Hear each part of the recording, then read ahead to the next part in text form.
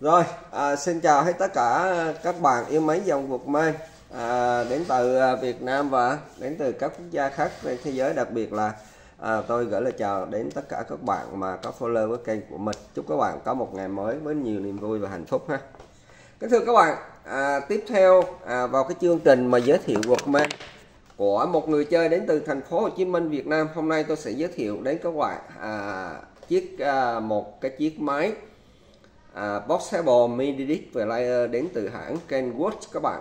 Và à, đây là một à, chiếc máy có mã là Kenwood DMC K7R thì à, trước khi vào cái phần mà chia sẻ cái nội dung của chiếc cuộc may này thì tôi à, có những cái thông tin mà gửi đến các bạn là bổ ích các bạn. Cái thông tin thứ nhất là khi các bạn nhìn vào những cái dòng máy mà có khối lượng từ 150g đến 250g với những, những cái chiếc máy phía trước mặt các bạn đây.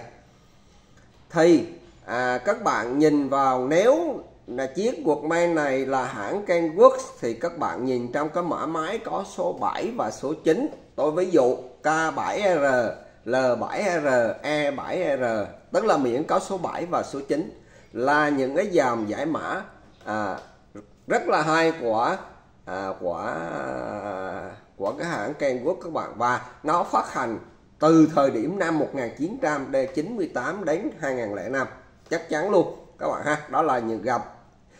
Là những cái sản phẩm mà nó có một cái thời kỳ rực rỡ nhất của thị trường à, Possible MIDI Player Nhật Bản. Và các bạn à, ghi nhớ cái thông tin này thứ hai nếu nói về dòng sách shop các bạn shop nha thương hiệu shop. Thì à, các bạn nhìn vô trong cái mã máy có số 7 và số 8 thì đó là những cái dòng giải mã hay nhất của thương hiệu shop. À, các bạn ha. À, ngoài ra thì à, Pioneer thì nó cái tên máy nó đạt là khác. Và à, Victor thì cái dòng sản phẩm này Victor. Và Sony nó lại là không chạy đua nhưng riêng à, Kenwood và à, Sharp là nó rất là chạy đua những cái dòng máy à, nó có khối lượng mà các bạn nhìn thấy trước mặt đây. Nó là làm khoảng là 150 đến 250 gram à, cầm rất là đàm tay. À, đó là những cái thông tin thêm. Kính thưa các bạn thì cái video tôi thì bố cục lúc nào cũng có 3 phần. Phần thứ nhất là phần giới thiệu về chiếc quật mang mà tôi sẽ giới thiệu. Phần thứ hai là tôi sẽ phát cho các bạn nghe thử chức năng phát của chiếc quật mang Và phần thứ ba tôi sẽ đánh giá ưu điểm và nhược điểm của chiếc quật mang mà à, tôi đang giới thiệu các bạn ha. Rồi và tôi sẽ vào phần đầu tiên. Kính thưa các bạn à, Kenwood DMC à, K7R à, phát hành vào tháng 7 năm 1998 và tôi đã nhắc trong rất là nhiều video và à, những cái năm từ 1998 đến 2002 đây là một thời điểm thời kỳ rực rỡ nhất của thị trường Sony. À, thị trường Portable MIDI Player là máy chạy bằng đĩa MD của Nhật Bản các bạn ha. Thì phát hành đồng thời với chiếc à, Kenwood à, DMC K7R đây là à, hãng Pioneer cũng có lên tiếng các bạn. Pioneer nó phát hành ra chiếc à, Pioneer BMDR55 và hãng Sharp cũng lên tiếng với lại và bộ Sharp MD MX722 các bạn. Và à, Sharp MD MX721 thì chiếc sáp MD MS721 và chiếc sáp MD MS722 trong cái danh sách video tôi cũng có giới thiệu đến các bạn. Chỉ có là à, chiếc à, Pioneer Pioneer các bạn PNBR55 thì tôi chưa giới thiệu à, đến các bạn được cái chiếc à, Boxable đó. Thì à, đó là những cái sản phẩm à, cùng dòng với cái sản phẩm này phát hành cùng thời. Và nó có tính chất như thế nào? Nó sử dụng à, chung chip giả mã các bạn là cái thứ nhất. Cái thứ hai nó sử dụng cái bản chất của điều khiển từ xa và hộp pin là như nhau. Các bạn chỉ có ví dụ như cái điều khiển từ xa nó nó đạt cùng một đơn vị sản xuất tuy nhiên nó đóng cái mát khác nhau. Ví dụ như cây quốc đóng mã là cây quốc và shop và đóng mã shop và à, Pioneer là đóng mã à, Pioneer các bạn ha. Và à, những cái à, chiếc à, à, Boxable MIDI player này à, cái cái điều khiển dùng chung với nhau được luôn các bạn.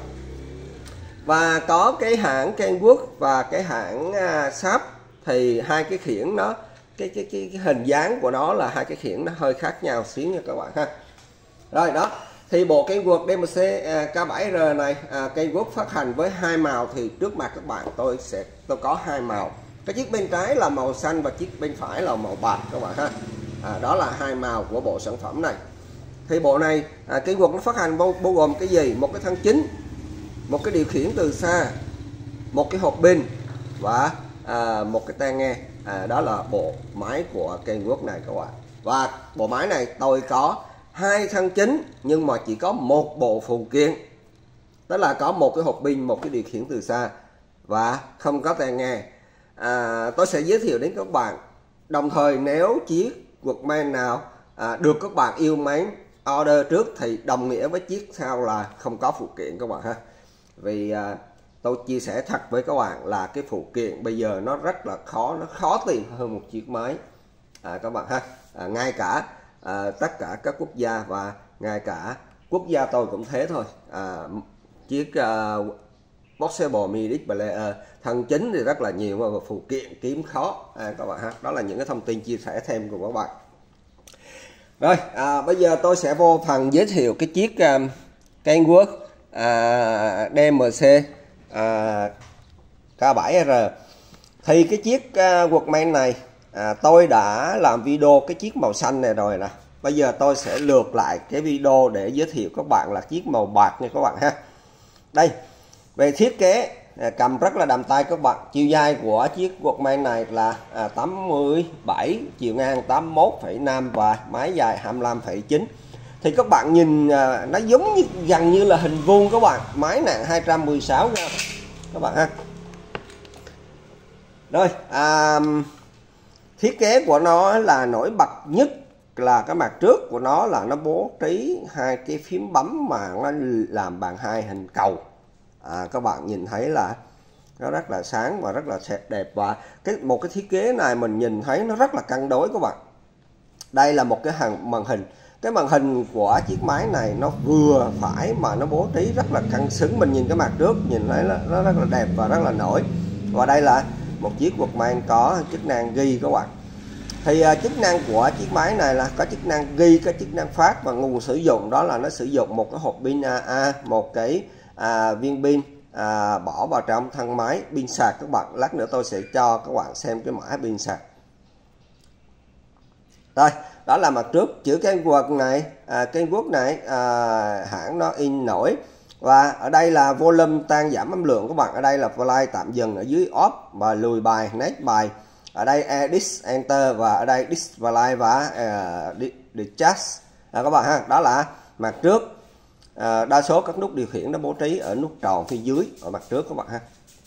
Rồi mặt sau mặt sau ở đây là các thông tin về máy Kenwood và các thông tin về pin nguồn sử dụng và số series. Của máy này là à, số series 810 01912 hoặc ở phía sau này có một cái nút hợp à, các bạn ha.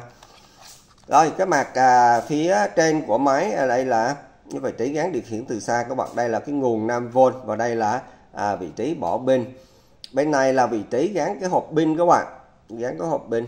À, nó sử dụng một viên pin AA và ở đây là cái vị trí bỏ máy và ở đây là à, gạt mở ốp máy. Ở đây là có một cái vị trí chúng ta gắn một cái que để chúng ta cầm cái máy. Ở đây là optical line in và à, mix line in các bạn. À, đó là à, những gì à, trên chiếc à, cây vượt DMC A7R à, đây các bạn ha đây à, tôi sẽ chỉ cho các bạn cái hộp pin này. Cái hộp pin dạng này là nó dùng chung với cái ADT50BT này các bạn 3.6 600 mAh thực ra viên pin này không phải là viên pin của cái dòng này các bạn. Các bạn khi chúng tôi bỏ cái chiếc viên pin vào các bạn thấy cái viên pin nó mỏng hơn không? Nó mỏng hơn. Vẫn sử dụng được nha các bạn nhưng mà nó có một cái viên pin nó dung lượng nó lớn hơn. À, tôi sẽ cho các bạn để xem cái viên pin này. Đây là viên pin của máy các bạn. Nó có mã là NB L10A 3,6V à đây tuy nhiên là vì nó lâu quá rồi cho nên nó chết nó không còn. Và khi tôi bỏ vào trong cái thân máy này là nó vừa nó vừa vặn vào cái chiếc chiếc máy cái khe pin luôn các bạn. Đó đây là cái viên pin của hãng này các bạn và shop nó cũng có một mã pin này. Miễn là à, mã thì nó có khả năng nó khác nhau. Tuy nhiên về kích thước hình hạt và bề dài thì cái viên pin này là giống nhau. Viên pin này chết rồi tôi tạm thời dùng cái viên pin mỏng hơn các bạn. Nhưng mà à, nó vẫn đảm bảo cho chúng ta là nó phát lại lại được cái chức năng phát các bạn. Rồi đó là những cái thông tin về à, chiếc Walkman này. Và bây giờ tôi sẽ à, phát cho các bạn nghe thử cái chức năng à, phát của chiếc Walkman này. Nhận đĩa rất là nhanh các bạn. Tôi chọn bài số 4 luôn nha các bạn.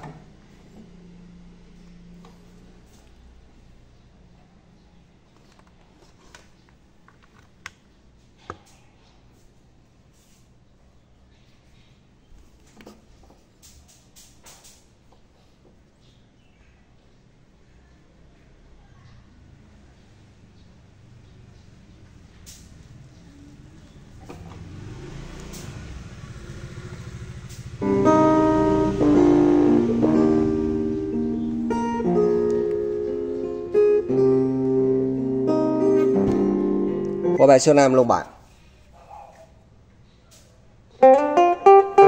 Rồi, cái bài tiếng Anh các bạn ha.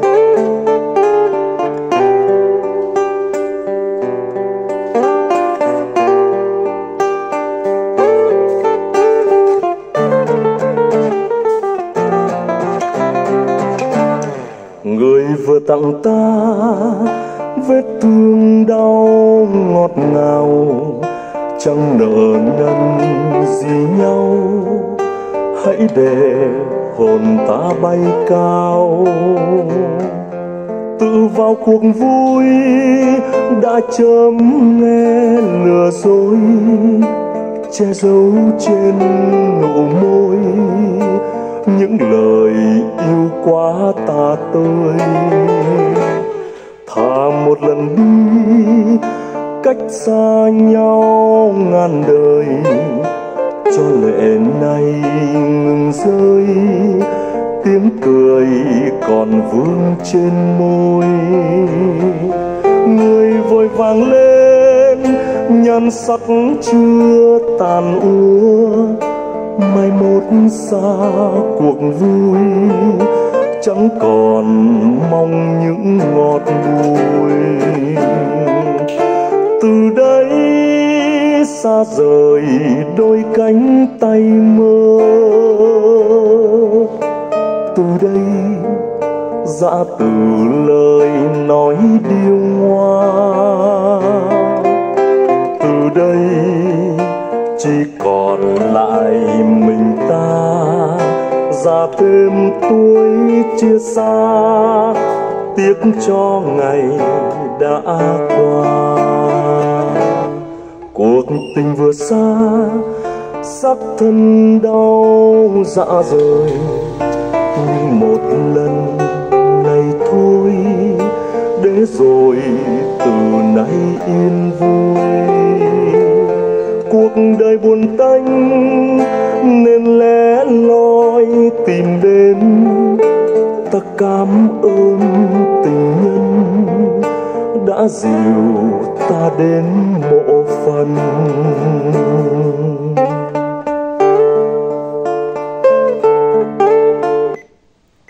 Rồi, mình xin phép tắt máy để à, mình à, giới thiệu mình phát cho các bạn nghe à, một phân nữa của một ca khúc vậy là các bạn đã biết là chiếc máy này cái âm thanh nó hay. Tôi sẽ giới thiệu đến các bạn cái điều khiển từ xa của dòng máy này các bạn. Điều khiển từ xa của nó là nó dùng cái điều khiển từ xa này đây nó nhìn thoạt đầu thì giống một cái đồng hồ các bạn ha. Nhưng mà nó thực ra là nó không phải đồng hồ nó là cái điều khiển từ xa của Kenwood vẫn đóng cái mặt Kenwood ở đây các bạn. Và các hãng khác thì nó sẽ đóng cái à, mát mắt khác ở đây. Thì ở đây này trên đầu này là có cái à, chỗ là dắt 3.5 à, lấy âm thanh. Ở đây là nét bài lùi bài ờ, và cái nút này là chúng ta bấm vào thì nó play và tạm dừng luôn các bạn. Ở phía dưới này bấm vào là nó stop và à, tắt nguồn máy. Và à, gạt lên trên là nó điều chỉnh bass và à, gạt xuống là dưới là MOS các bạn ha. Và ở đây là à, volume tăng giảm âm lượng và bấm vào là display và ở đây là có nút hơ à, nó là như vậy thôi. Đơn giản như vậy thôi các bạn ha. Rồi à, bây giờ tôi sẽ vào phần thứ ba các bạn. Là phần à, mô tả về ưu điểm và à, khuyết điểm của chiếc Walkman mà ừ, tôi có các bạn. Thì các bạn lưu ý cái chiếc Walkman mà màu xanh thì mình đã có làm video và trong danh sách video mình đã có rồi. Có mô tả và có video luôn. Thì à, cái chiếc Walkman này à, tổng thể nhìn thì nó khá là là đẹp. Thì ưu điểm của nó là chiếc quật dòng Walkman này âm thanh nó rất là hay các bạn ha. À, đó là cái thứ nhất. Cái thứ hai à, thì à, cái chiếc máy này nó còn lại à, nó phát hành năm 1998 mà nó còn lại như thế này thì cũng còn là khá đẹp các bạn ha. Các cái phím bấm phía trước này thì hầu như nó không trầy. Riêng chiếc màu xanh thì à, tay bấm thì nó lại bị trầy nhưng mà chiếc màu bạc là không trầy các bạn. Nó có một số vết dơ ở chỗ gáp nhỏ nhỏ này thôi. Còn lại tổng thể là đẹp mặt sau cũng không mắc chữ mấy cũng còn à, hiện trạng vẫn còn à, tốt các bạn ha đó là cái thứ nhất. Cái thứ hai là chiếc này giả mã âm thanh à, khá hay và có chức năng ghi có chức năng phát các bạn ha. Và cái thứ ba nữa là bộ máy thì tôi có đầy đủ một cái hộp bên một cái thân chính và một cái điều khiển từ xa. À, chỉ thiếu cái tai nghe thôi các bạn ha. Rồi bây giờ nhược điểm. Thì xung quanh đây có một số vết trầy. Tất nhiên rồi trầy vì do người dùng. Người ta dùng thì nó không bảo quản cẩn thận thì nó sẽ xảy ra những vết trầy. Chỗ này cũng có vết trầy nữa các bạn. Đó là cái thứ nhất cái thứ hai của nhược điểm thì cái dòng này cái hộp pin của nó nó dùng một viên pin AA nhưng mà cái dòng này á, là à, nó giả mã hai à, mà nó đi đôi giả mã hai là nó rất là tốn pin các bạn. Cho nên nếu các bạn sử dụng một viên pin AA các bạn phải sử dụng cái loại pin tốt thì nó mới hoạt động tốt được ha. Cái thứ nhất là đó là khuyết điểm. Và cái thứ hai nữa là cái dòng pin này các bạn hiện tại bây giờ kiếm hơi khó. Khó không? Nó tùy quốc gia có quốc gia có nhưng mà có quốc gia lại không. À, đó là, là những cái à, nhược điểm các bạn ha. Rồi à, vừa rồi tôi đã đi mô tả à, đến à, các bạn chiếc cây quật DMC à, K7R và à, à, đây là một cái dòng máy giải mã à, khá hay đến từ hãng Kenwood các bạn. Cảm ơn các bạn đã theo dõi video xin chào các bạn và xin hẹn lại gặp lại các bạn ở các video tiếp theo. Và à, các bạn ở nước ngoài xin vui làm chọn cái phụ đề để theo dõi video này. Cảm ơn và à, trân trọng kính chào các bạn. Các bạn à, nếu thấy qua được cái video này và chúng ta yêu máy dòng Walkman thì chúng ta vui lòng đăng ký kênh để nhận được cái thông báo và cái video mới nhất các bạn ha. À, tôi sẽ cập nhật liên tục à, tất cả những cái sản phẩm cầm tay bao gồm Boxable MIDI Player và các sách player. À, cảm ơn các bạn và à, trân trọng kính chào.